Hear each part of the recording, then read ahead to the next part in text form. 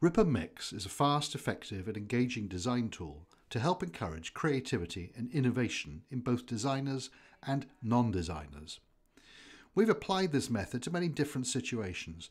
This brief overview will explain how it works and what its benefits are. Rip and Mix is a design method we developed jointly with T Labs at Deutsche Telekom in Berlin. The objective was to develop a design method that was both highly productive and open to non designers to use. It works in large groups and small teams. Here, we're using it with 140 public sector accountants. And here, with a small group of school teachers. The method invites collaboration and conversation between participants. It also invites a playful, physical, and visual approach.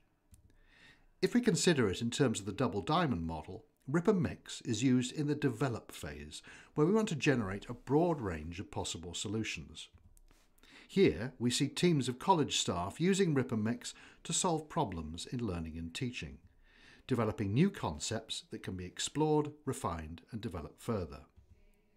The method centres on using this simple worksheet. On it, characteristics from a pleasurable service are ripped and mixed with something which is currently causing you or your users pain to create ideas for new services. To use the method, the only materials needed are post-its, pens, worksheet templates and pleasure cards. Participants are given cards with a drawing of a pleasurable product or service. We now have cards of over 50 different pleasurable services from listening to the radio in the car to a cruise down the Norwegian fjords, from Amazon tracking to a personal shopper. These are quickly analysed using the Rip and Mix worksheet under the categories of function, stakeholders, infrastructure resources, physical formal components of the service, and emotional characteristics. They fill in the first column of the sheet by drawing it, naming it, and briefly describing and analysing it. After this, the teams discuss pain points or problems and reach a consensus on which one they'll tackle. This is then drawn, named, described, and analysed using the same categories. The final stage involves quickly and intuitively selecting components from the pleasurable and painful experiences to create new products or services, ripping and mixing, a bit like a DJ. In this final stage, we're looking for a broad description, not an analysis of the same categories.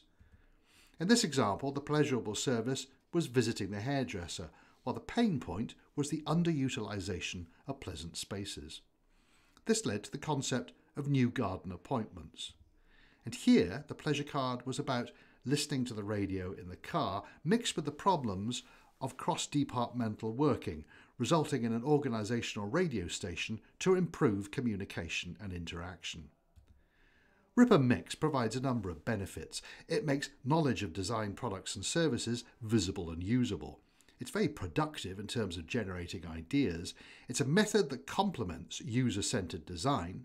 It's open to non designers because the initial stages do not assume prior design knowledge, and it takes design away from the computer, emphasizing physical recording, sketching, and collaborative working.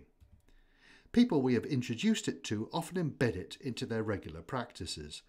Elaine Lawther of the LHS says I use Rip and Mix whenever I'm thinking about problems and looking for new ways of solving them. It's really helped me make some breakthroughs in my thinking. In Riyadh, Saudi Arabia, leading international service designer Mahmoud Abdul Rahman is an advocate of the Rip and Mix method. Rip and Mix brings everyone into the creative phase of service design, enabling designers and non designers to develop new ideas. The method transforms non design trained participants' view of themselves as not creative by enabling them to generate both implementable quick win solutions and blue sky future scenarios.